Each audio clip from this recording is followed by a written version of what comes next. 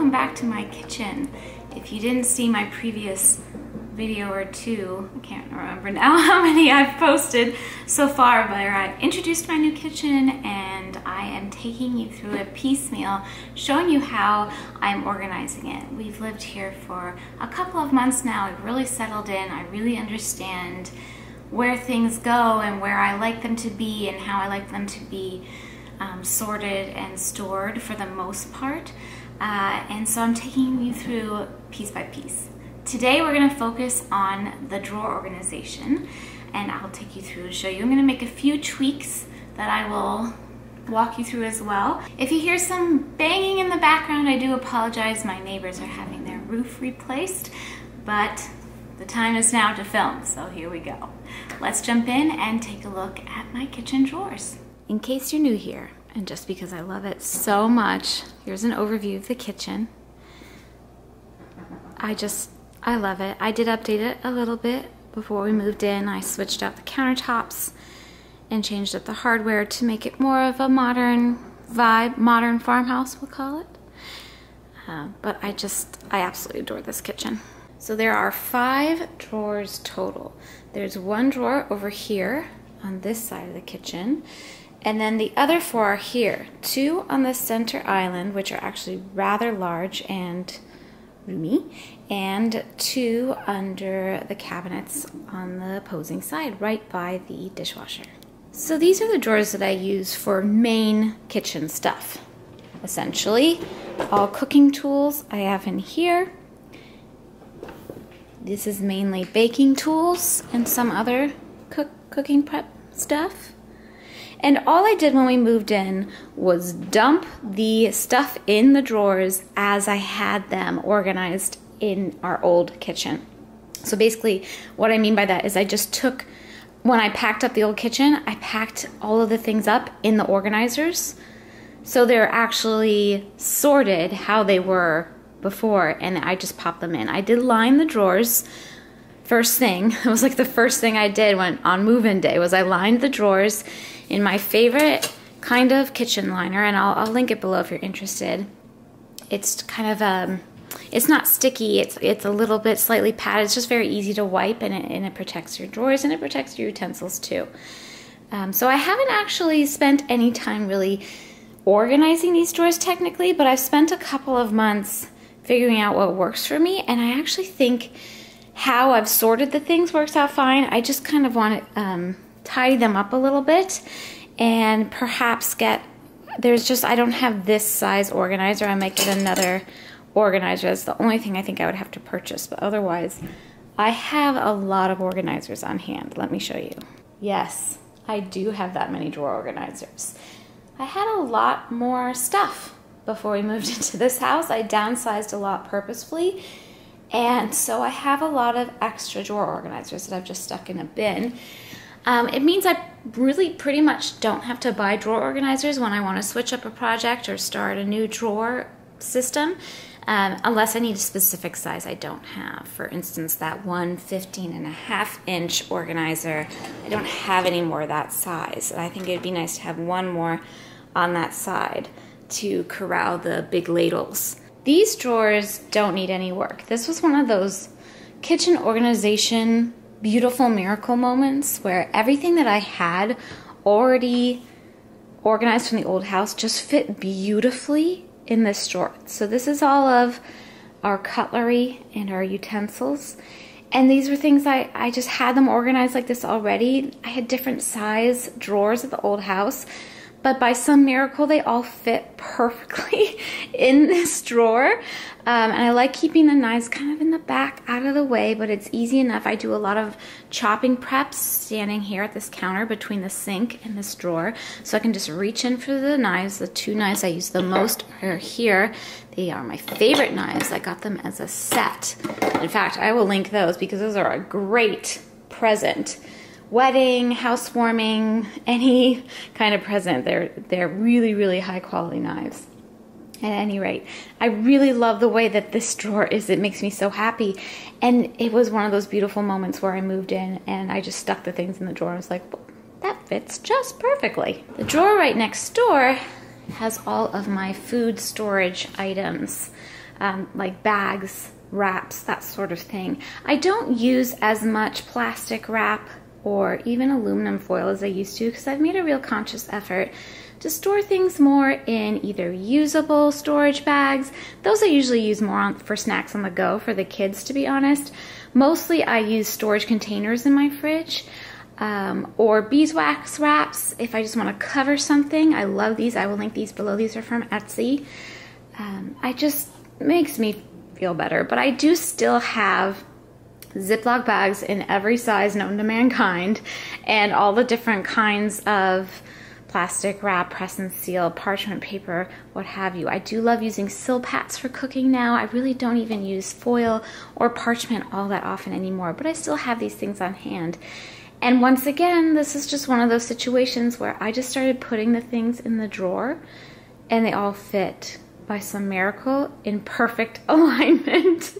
I am one of those crazy people. I don't know if I should say that. It's not crazy. I think it's actually environmentally conscious on some level. I save plastic bags that aren't really, that are, you know, totally not dirty or can be reused. I'll even rinse some out sometimes and I put those there and I always use those first before reaching for a clean one.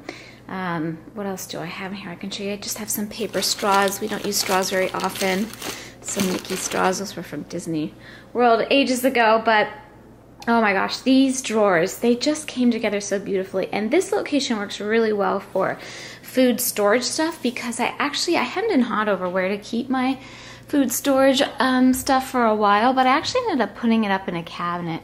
And this is something I want to work on a little bit, probably next. I'll show you guys my kitchen cabinets in the next video, but I kind of want to put the lids in a nicer way, but I just keep all of this up here and this down here. And so when I'm packing up food at the end of a meal, when I'm cleaning up, it just, everything's in this one area and it's sort of like food packaging command center. So this drawer didn't have anything in it for a while and I thought for a while I wasn't going to have a kitchen junk drawer because it just tends to become cluttered in my experience, but I've been experimenting with this for a couple months now. I decided to go ahead and make a kitchen junk drawer because I just needed a space to put these, not necessarily kitchen items, but things that I need on the first floor on a regular basis I need access to. Um, and because this is at the edge of the kitchen and I don't need it for cooking utensils or anything like that, it was just empty space, so I figured why not. And it's actually stayed really neat and tidy, much to my delight and surprise. Um, so this is my latest iteration of a kitchen junk drawer. I have everything, again, this I organized intentionally using all of the little drawer organizers I have, and these are the Linus drawer organizers. I don't know if I mentioned that from the container store. They're my absolute favorite. They are sturdy. I like that they're clear. Um, they're easy to wipe out, and they come in so many shapes and sizes, as you can see from my massive collection of them. Uh, but I'll just take you through this really quick. I'm sure you can just see I've got kind of like a little first aid center here. I actually have a full first aid kit in the pantry, but this is just basically band-aids because we use those a lot with a two and a four-year-old. Kids scissors, my scissors, box cutter, pads of paper. I keep a running shopping list for Whole Foods and Thrive. Those are where I get my groceries on the regular. Um, other kinds of sticky notes and pens and tapes, paper clips, all that jazz, hairbrush, obviously essential charging stuff, lo so much lotion and so many lip balms, but I do use them. Obviously the labeler is essential. I have this, if you're curious why this is labeled vacuum, I use this brush just to clean out my Dyson stick vacuum. That's all it's intended for. These are actually little binoculars we use to look at animals in the backyard sometimes. They're like opera glasses. And then um, obviously everybody needs balloon clips in their house. That's super important. you know, again, with a two and a four year old, sometimes I need a balloon clip. And I, now I have them. Tape measures, so basically kind of your run-of-the-mill stuff. Um, but it really, it's a drawer I use so much and I like having in if I had like a desk or something near the kitchen, I would keep this in there. But because, like I said, I wasn't using that drawer and because of its location, really out of the main prep area for the kitchen, um, it works. It could totally also function as like a coffee tea drawer, but I have put um, all of my coffee and tea up in the cabinet above, which again, I will show you next week. So going back here, I think the only drawer I really need to work on is that one. I think this is fine. This is the one thing where I, if I could get this 15 and a half, I think it's a 15 by five and a half inch drawer organizer. If I could buy another one, I would put it there just to corral those uh, ladles a bit more. But otherwise, this functions really well. Um, for me, I like have it's kind of in order of how I use things closer to the stove. So spatulas, uh, spoon rest, spoons and small ladles, wooden spoons, spatulas, whisks. I mean, it just goes kind of goes in order of importance. Obviously, the s'more um, roasters are super important. but they fit, I mean, I just had room in this drawer, uh, so I thought, why not? And kind of less these things, bigger, bulkier items I put in the back. Okay, with this one, I think how I have things separated pretty much works. I don't want this divider in here anymore. This was from the old house. I would like to just use my clear one. So I'm going to root through my collection, see what I have that might work. Um, if you're curious, this I use for um, waffle and pancake mix. Um, I use that quite a bit, so it's not often in the drawer, it's often in the fridge, and this is an onion chopper. I'm to see what I can pull out of the bin and organize the rest of the drawer, and then that's pretty much it, I think, for, for drawer organization happiness.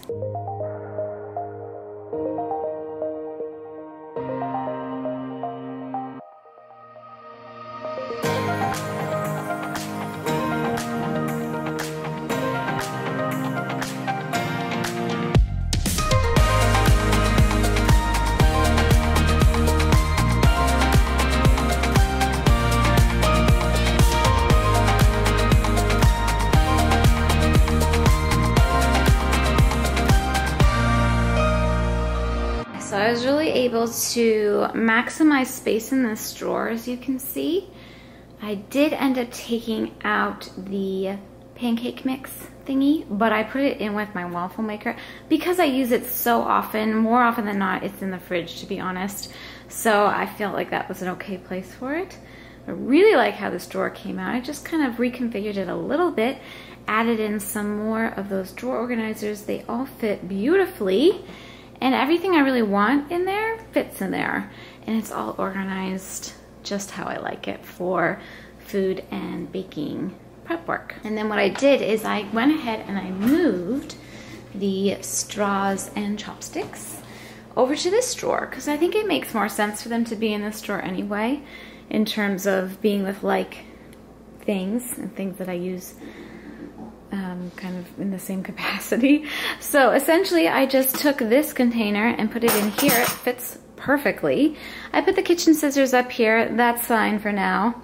Um, I could put them over here if I was feeling particularly picky about it, I suppose. Actually tuck the knife sharpener in here. It goes underneath this drawer organizer, but it fits really well right there. So that all worked out great just a few minutes and using stuff I had in hand and it worked out great. I hope you enjoyed seeing how I sort and organize everything in my drawers.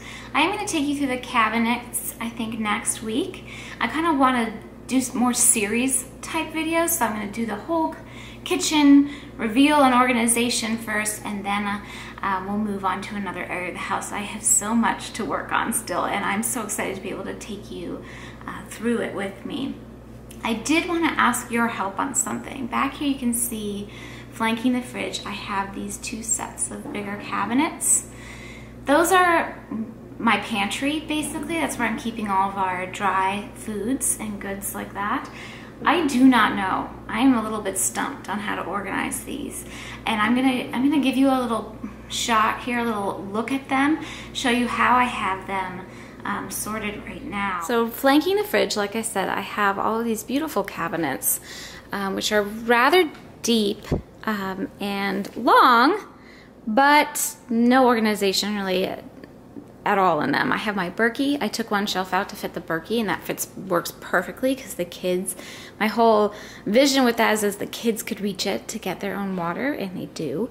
And that works fine. I've put um, like a organizer riser thing I already had back there, but it could be could be better envisioned. And then these are just the bins from the old pantry. And I literally have them stacked two in deep. And I just, I don't know what to do with them. So that's all baking supplies. Um, and then more two deep of the bins, that's my dry goods. Um, bigger, bulkier items over here. Again, this is just what I had in my other pantry at the old house, and I think I have a video or 10 of that, so I'll put that in if you want to see how I organized. This is not intentional organization. This was, I moved in and I just stuck everything in here, and I thought I'll organize it later. Well, it's later now, and I'm ready to organize it. I just haven't yet. This bin has all of Winnie's stuff. I mean, the bins on the upper shelves kind of work for the backup bulkier items, like snacks and things, because I can just pull out like the Winnie bin, for, for example. That needs to be organized. Obviously, I did not pre-tidy this area for you. But yeah, I think these two bigger lower cabinets, I'd love to do something a bit more accessible. I mean, as you can, I've just clumped things in. It's not super functional. They are deep, but uh, and dark there.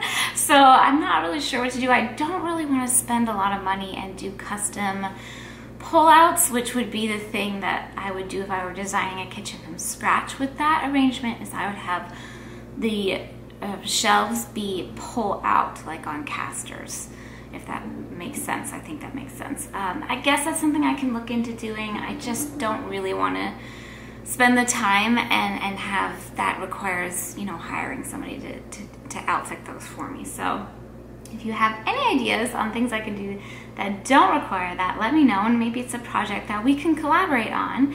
Um, it's something I do want to work on now. Um, so leave me a comment if you have any thoughts and ideas. Um, any way I can reuse things I already have too is always good, but I am open to buying some new organizers, so I just, I'm not, honestly, I'm just not sure what to do. So let me know if you have any thoughts. You guys always have great ideas. I appreciate your input, and I will see you next week for more kitchen organization fun. Thanks for watching, guys. Take care.